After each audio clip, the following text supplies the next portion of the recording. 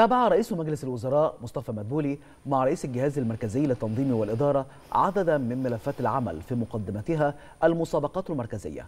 وخلال الاجتماع وجه مدبولي الجهاز بتنظيم مسابقتين لسد احتياجات وزارة التربية والتعليم من المعلمين في عام 2024 إحداهما في يناير والثانية في يونيو.